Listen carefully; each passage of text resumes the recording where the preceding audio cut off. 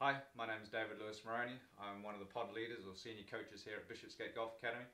And today I just want to show you a little bit about the development plan that I work on for each student here at Bishops Gate, uh, or what I would also call the phase of participation. So when I look at a student's plan, I have a look at their tournament schedule first. So depending on their tournament schedule, will determine which phase they're going to be in. So for example, here with this board, I generally do over six weeks period and then I've just got the tournaments that they're going to be playing in. And then once I know what tournaments they got then I'll decide what sort of training we're going to do and then I'll come up with a plan. So if we first just have a look at this block I'm just going to talk about one of the phases of participation here. Okay so in this week this is just straight after a tournament. So we can see we had a tournament and then what we would do here is go into a phase called repair or um, a technical phase so what you can see, obviously, on if they've played a tournament, come on a Monday, then it's all about reflection. We go over their stats, reset their goals, uh, and make sure they've got a very clear understanding of what they're trying to achieve over the next week, for example. Uh, we do a lot of measurement.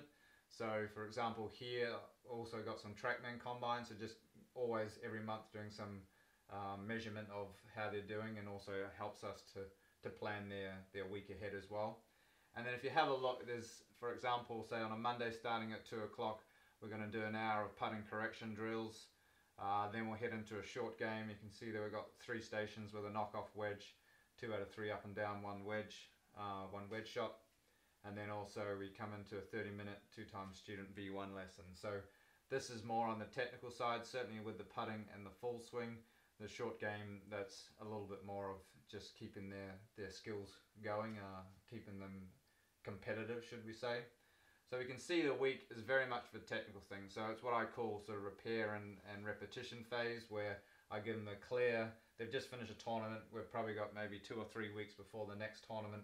So then we can spend a little bit of time having looking at their stats, making an assessment, what are the weak areas, and then measuring everything to just have a very clear indication, okay, if the putting stroke, for example, the face is open at impact, then a couple of days later when we do putting again, we're going to make sure that we deliver a drill which is going to help them deliver the putter face to a square position at impact. Okay, so here we've got two weeks which are leading more into a tournament. So up there I just spoke about the repair phase and the repetition phase and then we move into what I would call more of a random phase and performance phase.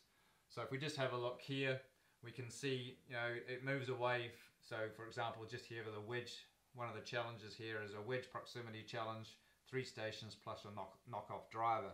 So they would have to execute a task on a wedge uh, proximity challenge and then to complete that task they would go, have to go to a driver station, hit a tee shot between two gates. So it's just increasing the intensity level a little bit more when they're training.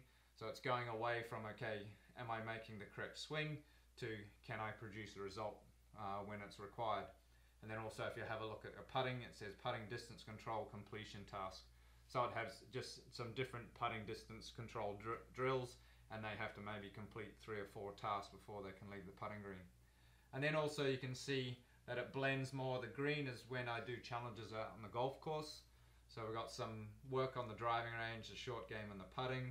Then we've got a couple of days where they have what we call a play-in challenge. So before they can get to the driving range or to do some work on the range, then they've got to maybe do a play-in challenge. So it says here, holes one to four, start on the, the front tees, uh, and then they must shoot, say, one under par target score. If they don't complete that one under target score, then they need to repeat the four holes again. So it just, once again, changes their thoughts from, is my swing looking correct, to I have a task, can I complete it? And then all this is designed to do is to help the player be able to produce results when it's required, which is in the tournament conditions. And certainly one thing that I like to do in training is to try to increase the intensity level, just push the student a little bit outside their comfort zone so they get more comfortable with being uncomfortable, if that makes sense. And they have the ability that when things do feel uncomfortable to bring themselves back to a, a level playing field where they're committed to the shots and they have some control over the things um, that are sort of going on in their mind. So there's some strategies that they have to bring themselves back to the present. Uh, and as I said, and then we go from a situation where it's very much just play and play and play, and it's just getting them ready to play in the tournament, which is at the end of the week.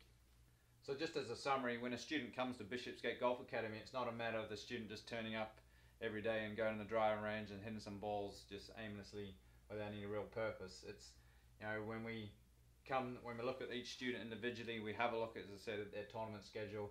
We come up with a plan. We make sure that the students are working on the correct um, thing, should we say, at each stage of their their development, uh, and come up with this great plan. So if anyone's got any questions, you can send me an email at davidlm at bgga.com, uh, or you can check me out on Instagram, David Louys-Moroney.